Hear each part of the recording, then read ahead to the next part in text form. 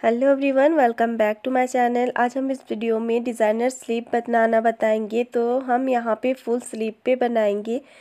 तो इसके लिए हम यहाँ पे डबल फोल्ड करके रखे हैं कपड़ा को, और फिर हम यहाँ ट्वेंटी टू इंच ले रहे हैं, और एक्स्ट्रा ले रहे हैं हम थर्टीन इंच सेम हम इस साइड पे भी निशान लगा लेंगे तो ट्वेंटी टू इंच हम यहाँ पे पहले ले लेंगे, उसके बाद हम इस तरह से टेप को थर्टीन इंच एक्स्ट्रा ले लेंगे।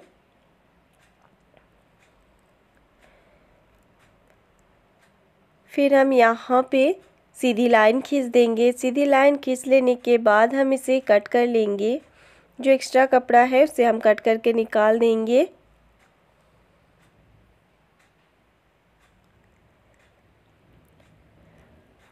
कट हो जाने के बाद हम इसे फिर से और एक बार फोल्ड करेंगे और यहाँ पे मेरा दोनों स्लीव निकल के आएगा तो ये हमारा फोर फोल्ड हो गया।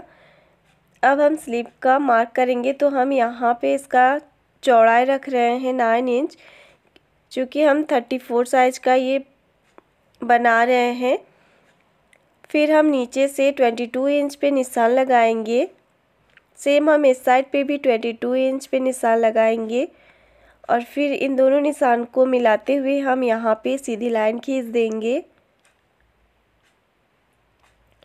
हम यहाँ पे स्लिप डाउन ले रहे हैं थ्री पॉइंट फाइव इंच चूँकि यहाँ पे डिज़ाइन बनेगा, इसलिए हम यहाँ पे थ्री पॉइंट फाइव इंच लिए और डेढ़ इंच हम सिलाई मार्जिन ले रहे हैं। टॉप का सिलाई मार्जिन आपका जितना भी हो सेम हमें यहाँ पे भी स्लीप पे भी उतना ही लेना है। फिर हम यहाँ पे स्लीप का सेप दे देंगे। अब हम ऊपर से यहाँ पे टू इंच पे निशान लगाएँगे। आप चाहे तो यहाँ पे ढाई या तीन इंच भी रख सकते हैं। मेरा थोड़ा सा टाइट हो गया था मतलब टाइट भी नहीं, पर थोड़ा सा और लूज होता तो ज़्यादा खूबसूरत दिखता। तो इसलिए हम आप लोग को बता रहे हैं कि आप लोग यहाँ पे ढाई या तीन इंच लेके मतलब यहाँ पे मार्क करें। तो इस तरह से हम यहाँ पे स्लीव का शेप दे दिए हैं। हम यहाँ पे हथेली को नापेंगे, उसके बाद आपका जितना भी हो, उसका हम हाफ़ करेंगे और निशान लगाएँगे। तो ये हमारा पौने चार इंच जितना हो रहा था और डेढ़ इंच हम सिलाई मार्जिन के लिए लिए।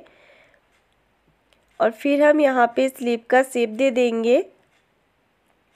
थोड़ा सा हमें यहाँ पे हल्का सा राउंड लेते हुए स्लीप का शेप देना है। इससे फिटिंग अच्छा आता है। अब हम इससे कट कर लेंगे। तो देखिए यहाँ पे मेरा कट हो गया है।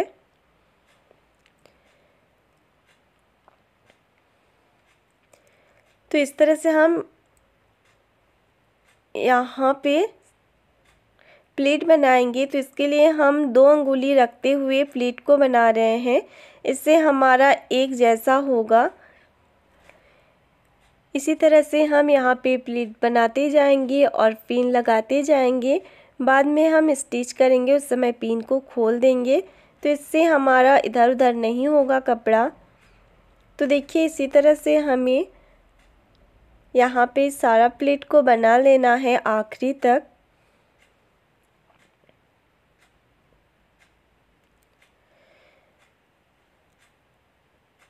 अगर आज का वीडियो आप लोग को अच्छा लगे तो प्लीज़ गाइज़ एक लाइक कर दीजिएगा। और जो न्यू है वो मेरे चैनल को प्लीज़ सब्सक्राइब कर लीजिएगा और बेल आइकन को प्रेस कर लीजिएगा मेरा न्यू वीडियो सबसे पहले देखने के लिए। मैं इस चैनल पे इसी तरह से लेटेस्ट डिज़ाइनर, शूट, ब्लाउज और भी बहुत कुछ लाती रहती हूँ। तो इसी तरह से हम एक साइड का प्लीट कंप्लीट कर लेने के बाद इस साइड भी प्लीट को कंप्लीट कर लेंगे।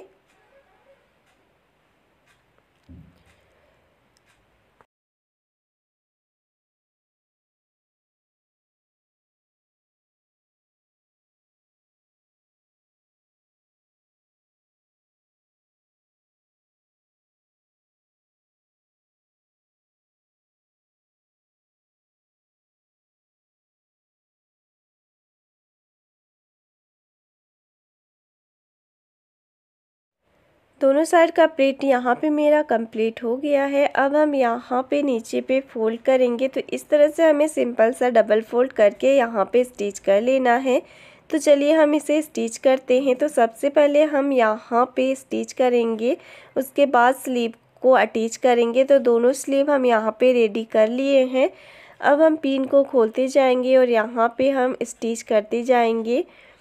स्टिच कर लेने के बाद हम अगर इसे स्लीव को अटैच करते हैं कुर्ती या टॉप के साथ तो ज़्यादा अच्छा से फिनिशिंग आता है और ये कुर्ती के साथ टॉप के साथ बहुत खूबसूरत लगता है ये वाला स्लीव तो आप लोग इसे ज़रूर ट्राई करके देखें। मैं भी इसे फ़र्स्ट टाइम ही बना रही हूँ तो इसीलिए मुझे थोड़ा सा ये टाइट लगा तो इसलिए आप लोग को मैं बता दी कि जब हम यहाँ टू इंच लेके स्लीव को कटिंग करेंगे, तब हमें यहाँ, वहाँ पे ढाई इंच या तीन इंच लेके करना है। वैसे ये टाइट नहीं है, पर मुझे थोड़ा सा लग रहा है, क्योंकि ये ज़्यादा फिटिंग हो गया था। अब हम यहाँ पे नीचे भी फोल्ड कर लेंगे। तो यहाँ पे हम थोड़ा सा चौड़ा में फोल्ड कर रहे हैं, इससे ज़्यादा अच्छा लगेगा नीचे स्लीप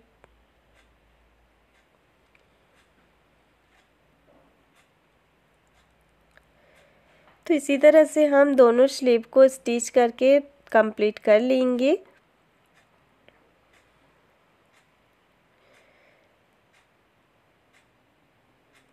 अब हम इसे सेंटर पे कट लगा लेंगे और सेंटर से ही हम इसे कुर्ती के साथ अटैच करेंगे। इससे फिनिशिंग बहुत अच्छा आता है। मैं जब भी स्लीव स्टिच करती हूँ तो यहाँ से ही हम सेंटर से ही स्टिच करते हैं।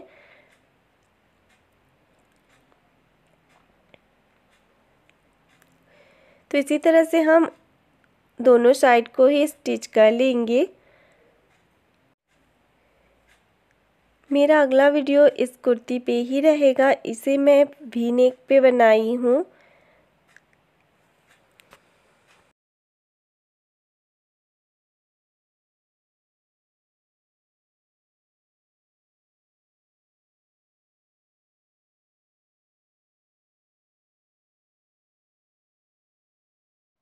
इसी तरह से हम दोनों साइड को स्टिच कर लेंगे।